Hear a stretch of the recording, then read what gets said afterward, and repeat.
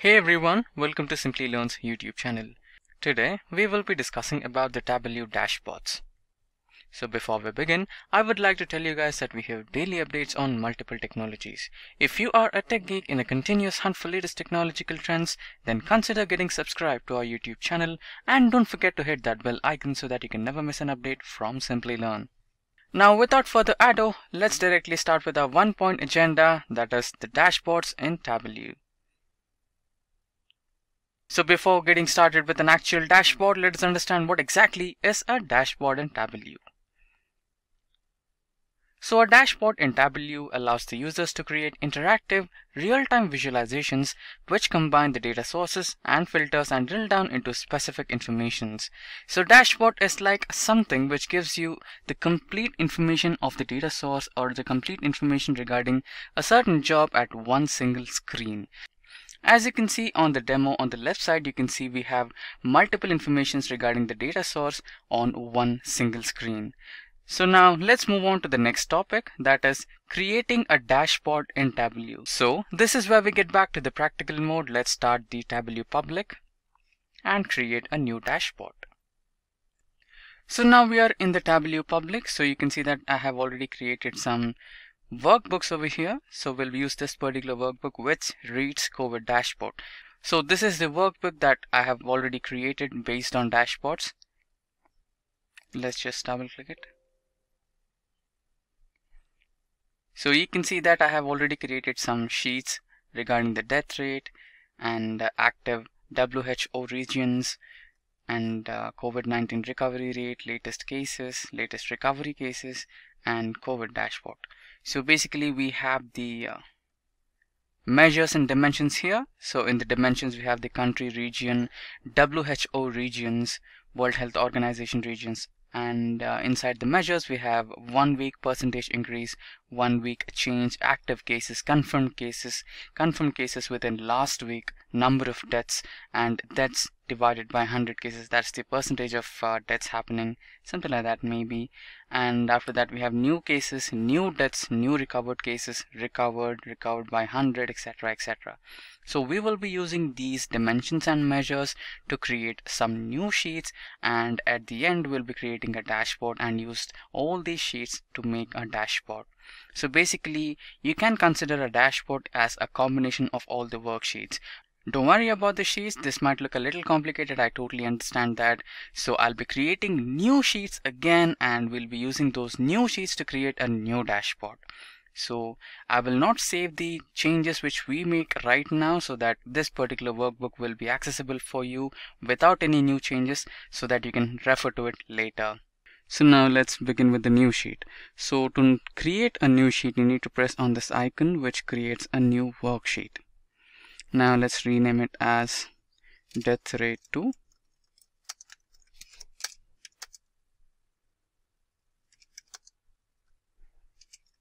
Yeah, it's done. So now we are going to create a geographical map. For that, let's select the country and uh, let's hold control and select deaths again. Then scroll to the show me tab and there you got the map. So there we go, we have the symbol map over here right now. Now let's drag the sum of deaths into color so that we can have different colors. Yeah, there we go. Now everything is in blue, so we kind of let's change it to uh, green to red, uh, just like we had in here, which shows that red had the maximum number of deaths, and kind of green is safer sides, and uh, the lighter green is, uh, you know, kind of safe kind of uh, safe, not completely safe as in India, and a little more in uh, Brazil. It's kind of reddish a little. Well, we'll try to do the same with this map as well.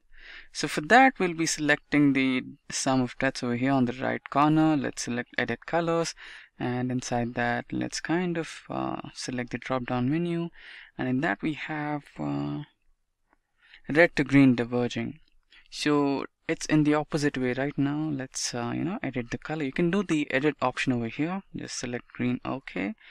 And inside this one let's just select the red color. Yeah there you go. It's done. Now let's select ok and this should be fine. Now let's create another sheet which we have over here which says C19 active WHO regions, the World Health Organization regions.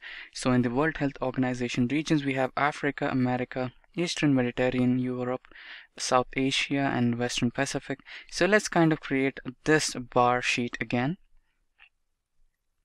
So for that let's rename the sheet COVID-19 activities or active WHO regions 2. Now you can see the sheet has been successfully renamed. Let's select the WHO regions to the columns and uh, let's drag the active measure into the rows so that we can have a bar chart. Let's do that again yeah we have it right here. Now we have the same color so let's select the WHO region and drag it to the color so that we have different colors for different regions. Now we can kind of sort it as well. Yeah it's done. So uh, we have the second worksheet over here. Now let's create the third worksheet. So we have the recovery rate worksheet over here which is a pie chart. Now for that let's create a new sheet and uh, let's rename it COVID-19 recovery rate so this particular sheet will give us the uh, recovery rate of uh, COVID-19 in the WHO regions. So for that, let's select the um, WHO region and hold control and select the uh, recovered or yeah, the recovered one. And now let's hover over to the show me tab and select the pie chart. So there you go. Uh, the problem with this is we have a really small pie chart over here. Don't worry about that. You can just select the option on the menu bar and uh, let's select the entire view. And even even if you're not satisfied with this particular size, then you can just go to the size option and kind of increase or decrease the size. So now I think this is perfect. Now let's kind of drag the WHO regions to the labels icon so that we can have labels of the regions. So this is the recovery rate at Americans, Africa, West Pacific, Southeast Asia and Europe. Eastern Mediterranean. So this should be fine. Now let's kind of create another sheet which is the latest cases. So which are the latest cases which uh, which took place in the recent events. Now for that let's try to create a new sheet and rename it as latest cases to yeah now for that let's select the country and uh, another one the new cases and hover over to the show me tab and select uh, the tree map. So there you go we have the tree maps over here. Now the darkest blue color shows that the US has the recent cases in the highest number which is 56,336 now you can either leave it as it is or you can even change the color. Remember we did with the maps in the same way. You just have to select this particular icon edit colors and there you go you can do it. So this is how it's done. Now I would prefer to uh, keep it in blue. Now uh, yeah let's go ahead and kind of uh, create latest recovery. I think we have one two three and four worksheets right now. I think we're good to go with the dashboard. We can actually create more sheets if you want like it, it's completely dependent on you if you want your dashboard to have multiple sheets or if your dashboard needs multiple data then you can create the number of sheets as you require and drag them onto your worksheet.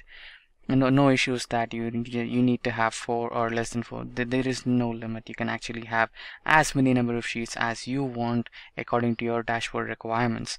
Now for my requirement I think four sheets are good enough.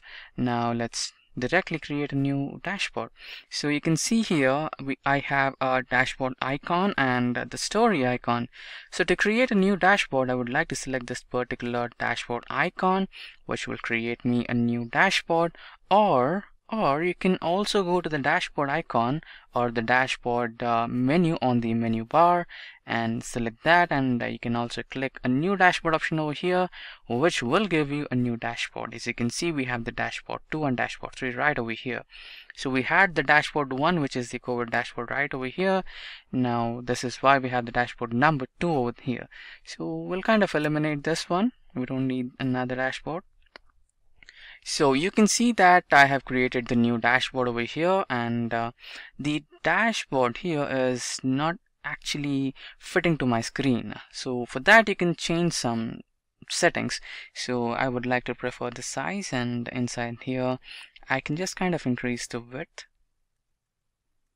So to a standard 1320p and inside the height I think the height is just perfect yeah now it's perfect 760 pixels so um, you can you can actually uh, if you you're, if you're viewing your Tableau dashboard in a phone. You can select this particular one which is phone and you can also make some changes over here. So if we get into the existing dashboard then you can see that uh, I can actually make some changes to my dashboard.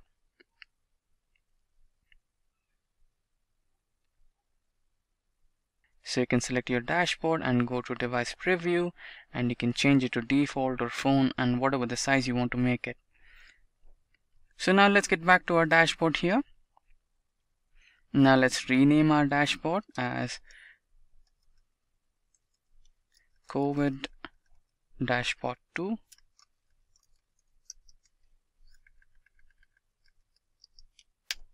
Yeah, there we go. The COVID dashboard 2 is ready and you can see we have different sheets on the left hand side of the dashboard and we have some objects horizontal blank navigation download extension web page image text vertical etc these are the options for the objects you wanted to create on your dashboard. And uh, yeah that should be pretty good. And we have the layout options over here. You can change the layout of your dashboard. And that's it is. Now let's kind of drag our sheets onto the dashboard and create the dashboard. It's just completely simple. You just have to drag your dashboards there and it's done and for that uh, let's just select the uh, death rate 2 okay there is some spelling mistake let's double click on the name and you can just edit it D-E-A-T-H death rate 2 yeah it's done so now we are back on the dashboard so now let's kind of drag it and drop on the dashboard.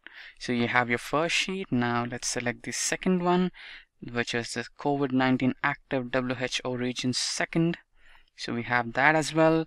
Now let's drag the recovery and place it somewhere over here. We have the pie chart and uh, let's select the tree map and you can place it over here. So now we have multiple um, sheets on your dashboard you can even change the sizes of your dashboard you can just select that and hover over onto the uh, edge so that you can increase or decrease the size according to your requirements if it's fitting fine then it's good. If not then you can make some changes to it. Now apart from this you can actually add in some filters. So you can see the icon over here which reads more options. And inside that you can have uh, multiple options in the drop down menu. You can see the filters option right over here. You can uh, have these filters. So you can select by WHO regions. You can select by sum of active. And you can also make some changes to it.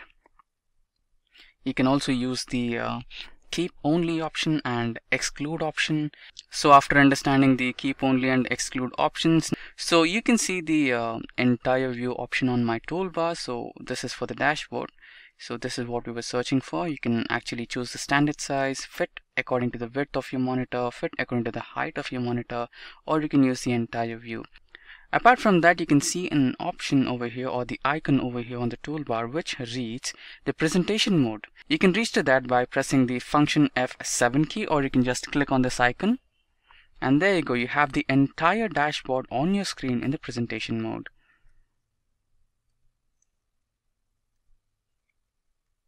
So you can just press the escape key and you can get back to it. Yeah, that's how the dashboards are done in Tableau. So with that, we have come to an end of this particular tutorial on Tableau dashboards. So if you have any queries regarding the concepts covered in this particular tutorial, or if you need the dataset that we have used in this particular tutorial, or if you feel that we have missed out anything important, then please let us know in the comment section below and our team of experts will be really delighted to hear it from you. So until next time, thank you, stay safe and keep learning. Hi there, if you like this video, subscribe to the Simplilearn YouTube channel and click here to watch similar videos. To nerd up and get certified, click here.